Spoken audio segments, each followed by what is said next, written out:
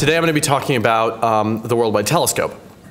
Um, earlier this week, um, we, we put together a uh, Worldwide Telescope uh, planning task force for the AAS to ask the question whether the Worldwide Telescope, which I will talk about in some detail shortly, um, uh, would make sense to be at home at the AAS. Um, and there was a council vote, um, and it came up positive, and so uh, Worldwide Telescope is going to be at the AAS for at least the next few years. Um, and um, therefore, it's going to be a really important resource for the AAS journals. And so I'm going to talk to you um, both about what the Worldwide Telescope is. hint, it's not a telescope just like the thesaurus is not a thesaurus in the technical, in the sense that I think of the word thesaurus. So, anyway, um, and the uh, virtual observatory isn't an observatory, et cetera, et cetera. But, so uh, the Worldwide Telescope um, is really cool though, even if it's not a telescope. Um, and I'll just be telling you, I think, really cool ways where we're gonna start to try to incorporate it into our journals. All of this is future tech um, at some level but um, we really want to get your ideas about um, how a tool like this could become really useful. Um, mostly I'm going to be just showing a bunch of videos because it's lunchtime and right. Um, so you'll get a sense for what the Worldwide Telescope is and, uh, and how we can use it in the journals. So get started, I'm going to give you a little introduction from uh, my home institution, Space Telescope Science Institute. Oh, before I do that, um, papers are no longer made of paper. Um, and in fact, they're made of all sorts of other cool stuff. Uh, we put together this thing called the paper of the future, which is if you type paper the, of the future into the internet, you'll find it. And it has a lot of um, just sort of cool ideas of things that could be incorporated um, into um, uh, into our publications. And Gus has already uh, made a bunch of progress doing some of these things. Um, but one of them that we mentioned is, is including the Worldwide Telescope. And I'll show you um, what I mean. So here's what the Worldwide Telescope is, at least to get started. See if this works. Tell me if it's too quiet or too loud. Hi, I'm Frank Summers of the Space Telescope Science Institute, and I'm here to tell you what we do with Worldwide Telescope. So, Worldwide Telescope is this great software for exploring the night sky. And one of the great things about it is that it has image collections in it. And if I click on here, I can show you that we have hundreds of Hubble images inside the software. And one can tap on one of these images, and the software will pan across the night sky and then zoom in to that image. Now, let me reorient this using some on-screen controls. Great. Now, we can zoom in on this and continue to zoom in and continue to zoom in because Hubble's highest resolution images are inside the software the Microsoft Worldwide Telescope folks took our images and created tiled resolution images so that they can download the pixels as they're needed as you zoom in. So we can pan across at full resolution through this image of the Whirlpool galaxy. And one of the things I like to do with people is that we, I like to show them that this is what Hubble sees, but that is what the Digitized Sky Survey sees. Hubble, ground-based. Hubble. There can be no question as to why Hubble's resolution is so valuable to astronomy. We can also pull back and use this not to just look at visible light images, but we also have a Spitzer image of the whirlpool in here, and I can go from the Hubble image to the Spitzer image, to the Hubble image, to the Spitzer image and back to the Hubble image. All right, and this shows you a wonderful way to compare multi-wavelength astronomy. So we've got bunches and bunches of Hubble images in there that people can explore. One of the other things that I really like are the guided tours. There are guided tours across all sorts of astronomical subjects inside WWT. And for launch, I created a tour on Hubble's view of the Orion Nebula. So that file was very quickly downloaded and the tour starts. And this is just my intro to it. There is sound uh, narration as well as soundtrack uh, included in this tour. Since we're doing it going up, uh, again it pans across the sky and starts at Orion. I'm going to pause it and show you what these tours look like in detail. They really are a collection of slides it looks very much like a PowerPoint talk, but this is a PowerPoint of the night sky. So, for example, I can go to this slide here, double tap, we get to that one, and I can pick up the tour from there. Now in this slide, you can see that I've got some graphics overlays of some circles, as well as some moving graphics of the uh, arrows showing how the hot stars are creating the bubble of the nebula. You'll also notice that I put the text as an overlay um, for the hearing impaired on the, uh, on the slide. And anything you can do in the interface, such as zooming into an image, can be done within these tours. All right, let me pause that here. So these tours are great because, well, people don't have an astronomer handy. You don't have a friendly neighborhood astronomer to tell you all about the night sky. Experts can create these tours right, and teach you about astronomy. It's the next best thing to having a planetarium on your computer. The other thing is that teachers love these tours because they can get their students to create them. Creating them is very easy. It's just a little bit more complicated than creating PowerPoint. And teachers love it because it encompasses STEM education. You have the science of astronomy, where they go out and they research the topic. You have the technology of using the computer program, and they can then share their tours. They can create and publish their tours just simply by sharing a WTT file, which is uh, the Worldwide Telescope Tour file.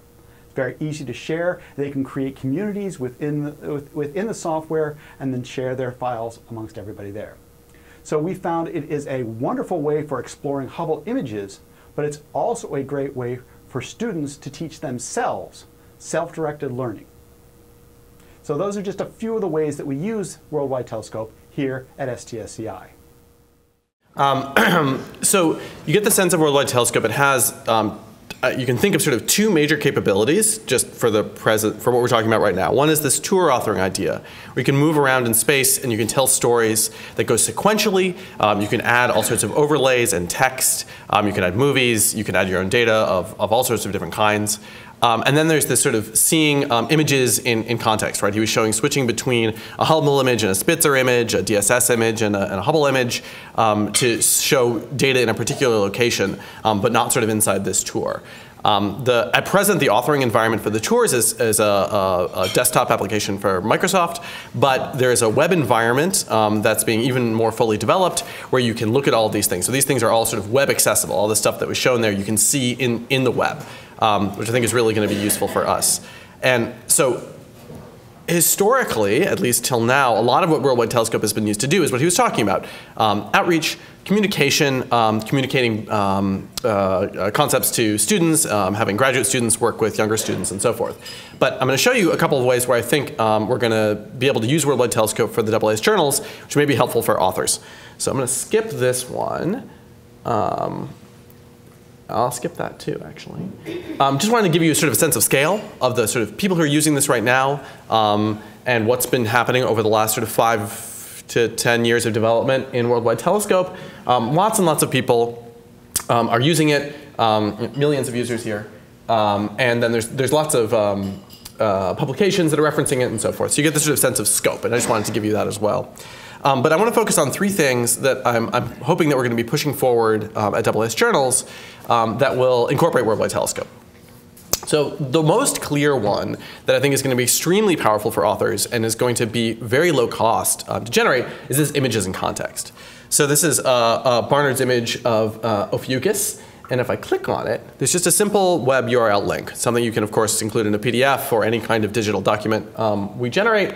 Um, and what it'll do is launch a web browser, assuming I'm connected to the web. Um, we'll open up Worldwide Telescope. We'll slew over to the source. We'll zoom in, and we'll put the data right there in context. And this allows you to look at this in the context of existing data sets. So this is the DSS, um, but there are many, many, many background data sets that you can look at and compare. Um, and then you can also import other data and compare to that data. So often, right, you're looking at um, some little piece of a galaxy in somebody's um, in somebody's uh, uh, manuscript, and it's very hard to tell um, exactly where they're looking. And you can look at the ARIAN deck, and you get out your ruler, and you're like, is my thing in their thing, or is the part that I'm looking at the same as the part that they're looking at? This makes this really, really easy with a single click. Um, I think this is the kind of thing we'll be able to implement really um, efficiently. We don't have a time frame yet, but I'm really excited about this as a, uh, a tool um, for our journals. Um, sort of more for our future is thinking about um, orphan data repositories. Um, there's been a lot of conversation in the journals community um, and um, in AAS in general about what we do about data that comes from telescopes that doesn't have a repository associated with it. You know, we're very lucky at MAST. Um, you know, Hubble has its own repository, great, and we have lots of developers that can build these beautiful front ends. Um, uh, I, I work at MAST, so you know, um, but the same thing is true of um, ESA. They have this thing called ESA Sky. Um, but what these things are based on is essentially a worldwide telescope-like view of uh, the universe uh, where your data sits on top of that. And you can sort of see, oh, well, this is the footprint of my data. Here's where my data sit. Um, uh, hope, and something we haven't done yet, but something we're excited about, is using Worldwide Telescope. So if you include your data with your paper, the hope is that we would take that, we would put it in a, a repository, and then Worldwide Telescope could be the front end. And this has already been done um, with some data that uh, Alyssa Goodman was using in her, complete survey. So you can see the footprints of her data on top of the worldwide telescope view. Um, so this is something hopefully to look forward to in the future. If it's something you're interested in, please come talk to me. Um, come talk to all of us. It's something we're really excited about. Um, and then something that's already happening is video abstracts. So I'm going to play you this little video by um, Thayne Currie, and then uh, maybe another one by, uh, well, you'll see. So I utilize the capabilities of the Worldwide Telescope as a part of the video abstract for my recently published paper in the Astrophysical Journal Letters. And this is a paper that reported the first discovery of a new object with the next generation of dedicated exoplanet and planet forming disk imaging instruments, so called extreme adaptive optics. And WWT played in a very important role uh, I think, in communicating our science results. Specifically, I helped to make my publication far more accessible and conveyed information far better through images and video, you know, than I could probably communicate through words. The video utilized began with a simulation of the orbits of the solar system planets, coinciding with our team's effort to cast our discovery with sort of the, the general context of the solar system's uh, architecture. And really the impressive aspect of the video above all else was how it visually transitioned from this context the specific target of our paper. This is a star called HD 115600. And it showed an all sky map of the region surrounding the star, zoomed in to focus just on the star, and then superposed superimposed our discovery image of this star surrounded by this beautiful Kuiper belt-like debris ring. For getting excitement built for his paper. Um, you know, this of course doesn't lend itself to every conceivable paper. If you have a paper on numerical turbulence, maybe there's not such an obvious way to use worldwide telescope, um, but many papers, of course, you know, look at objects on the sky. Here's another one that I really love uh, by Doug Roberts, who's I think in the audience. At large scales, the center of the galaxy hosts a massive stellar bulge and many giant molecular clouds. The intervening gas and dust obscures the optical view, but radio observations reveal complex emission dominated by Sagittarius A, which contains many components, including a young stellar population centered on a strong radio point source, Sagittarius A star, which coincides with a 4 million solar mass black hole.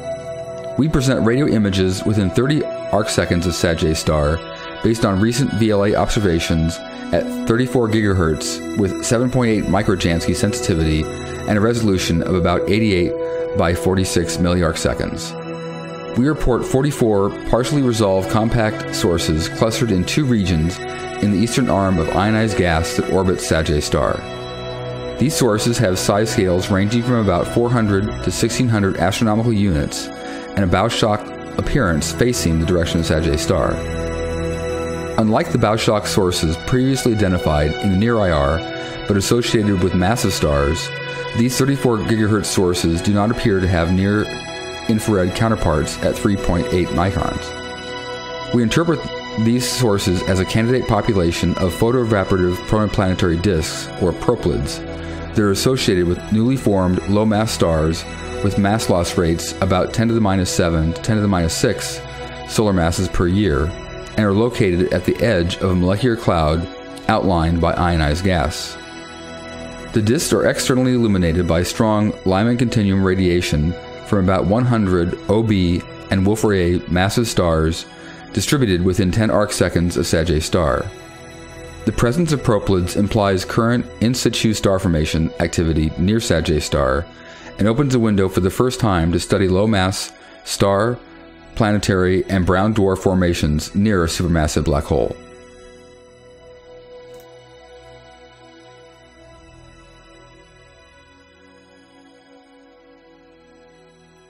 How that's uh, just a very powerful tool for giving you context. Uh, at least for me, I've worked in the Galactic Center um, before, but understanding, oh yeah, there's that arm and it's inside that and it's over there, that's what he's talking about, um, is very powerful. And the hope is that in the future, this will be a, uh, a, thing you can stop in the middle. So it won't just be a YouTube video, you can view it in the web um, and it will move around. And if you want to stop and look at that and then overlay your own data on it, you'll be able to do that inside this, inside this video. Um, so if you're interested more in the double, uh, WWT and how it relates to AAS, there's a, a, booth for the WWT ambassadors. Space Telescope has a huge working version of it you can play with, um, a number of posters. And then at Hack Day on Friday, um, we're going to be trying some cool new stuff with it, I hope. Um, so if you're excited, um, come say hi. So I think I'll leave it there and take some questions. Thank you.